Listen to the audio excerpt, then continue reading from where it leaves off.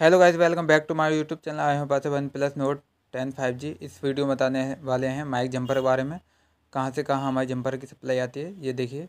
इन दोनों पॉइंट्स की सप्लाई और बीच वाला जो होता है, हमारा ग्राउंड होता है, गोल टाइप का जो होता है। और ये इन दोनों की सप्लाई देखिए, यहाँ से होते हुए आपको दिखा देते हैं कहाँ से सप्लाई हमारी आती है। ठीक है? ये देखिए। इन दोनों की हमारी माइक की सप्लाई जो है कनेक्टर पर, देखिए, इन वाले पॉइंट्स पर आती है, आपको नज़र आ रही होगी, ठीक है? यहाँ से आपको देख लीजिए, चार, पाँच छः व छठ छोड़ के सात में पे, इन दोनों पॉइंटों पे आती है, पाँच और सात में, ठीक है? ठीक है, यहाँ से होते हुए आपको बोर्ड पर दिखा देते हैं, फिर कहाँ पर हमारी सप्लाई आती है, ये देखिए, हम बोर्ड पर आ गए माइक की सप्लाई आपको देखिए, इन दोनों पर देखिए, ये चार पॉइंट छोड़ कर पाँच व छठे पॉइंट पे सप्लाई आती है माइक की हमारी ठीक है? यहाँ से होते हुए आपको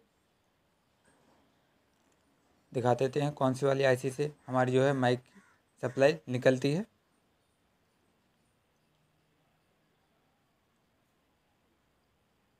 ये देखिए, हमारी दोनों सप्लाई इस वाली आईसी में से आ रही हैं और देखिए, एक आध कंपोनेंट्स पे भी सप्लाई आती है।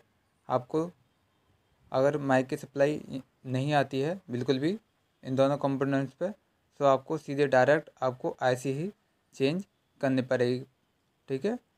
आपको कुछ भी नहीं करना ऐसे चेंज करना, फिर आपका माइक जो है हंड्रेड परसेंट काम करने लगेगा। सो अगर वीडियो पसंद आई हो तो वीडियो लाइक करना, ना भूलें। Thank you